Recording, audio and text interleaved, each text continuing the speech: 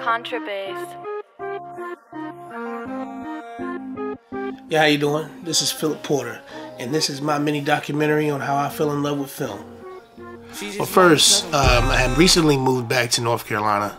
I was around 2008, I want to say. Me and my friend uh, K Dot, um, he had a studio in his house, so we used to record music, and um, and the music uh, was pretty good. It was pretty good stuff. It was really good quality.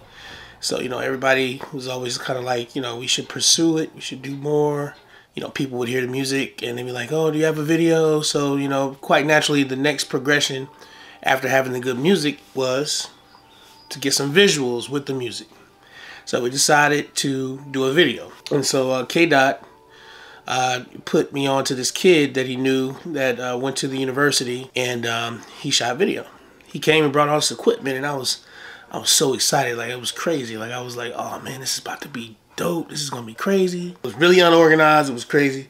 You know, we didn't have any type of treatment or so it kind of made me feel I was like, uh, I don't know about this. K Dot calls me one day. He's like, hey man, you know, um, oh boy brought the video through, so you want to come check it out? I go over to K Dot's crib. We watch the video. Keep you on the flip side, just below my eyelids. Real time dream catcher flows on the long skid.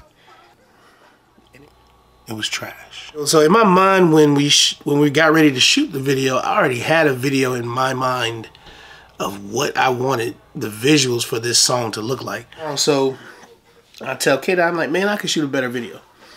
We cannot put this out. I didn't have a camera at the time, so what I ended up doing is going to Best Buy, trying to find something uh, to shoot these videos with, and um, so my um, the guy at Best Buy he he puts me onto these 720p flip cams. So uh, I got the 720p cam because I couldn't afford to get a DSLR at the time, and um, we planned it. We we did a treatment for the video.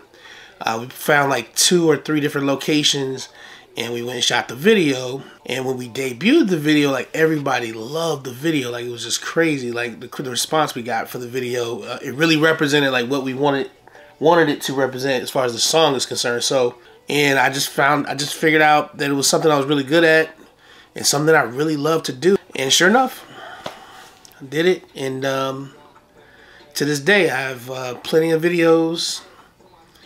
And uh, you know everybody's been pretty happy with with the work. So um, keep going. Yeah. Closer to my dream